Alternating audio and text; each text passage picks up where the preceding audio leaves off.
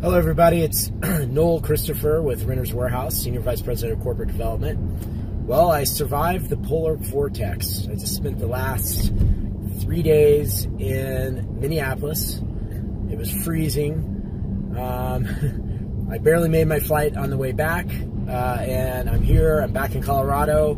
I'm heading back into the mountains, and you know, this weekend I'll be ski racing and spending time with the family and and you know, being grateful for what I have. Uh, Minneapolis is great.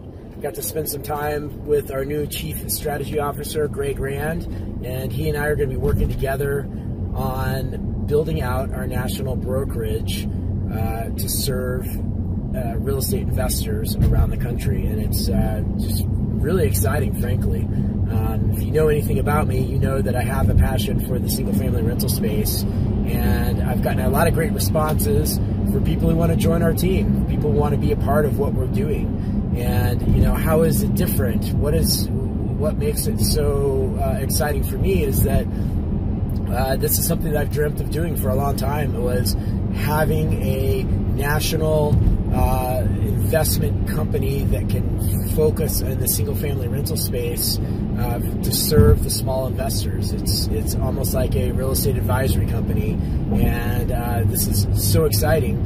And so, you know, I've got a lot of response from people. I had somebody email me from Chicago and say, you know, I see everybody moving out of out of the city. They're all they're all renting their houses. I need to be a part of this. How can I be a part of this? How can I serve uh, this asset class that's being underserved? It's a uh, you know uh, anywhere from a three and a half to four trillion dollar asset class, depending on what you read about, and it is very fractured. It's very underserved, and uh, it's uh, there, there's just a ton of opportunity. So I'm going to keep posting videos, keep talking about what I do, uh, why I do it. Um, what I'm grateful for to be able to work in this space and work with the team that we have um, with some great like-minded uh, people that, that live the growth mindset. And the growth mindset is something I, I really believe in and I talk about a lot. And probably my wife hears me say uh, growth mindset one more time. She's going to go crazy, but it's true, it's real.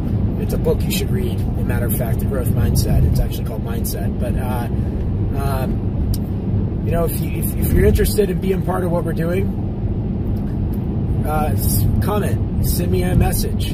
Uh, if you want to know more about what we're doing and how you can work with us, how you can work for Renters Warehouse, how you can partner with us, how you can stay at your own brokerage and continue to work with Renters Warehouse, how you can go from your brokerage and join us, uh, just let me know. I look forward to hearing from everybody and uh, I'm happy I made it out of the polar vortex. Now I'm heading into a different kind of polar vortex in the mountains of Colorado, which is uh, a little bit more exciting, but uh, truly grateful. Thank you. Bye.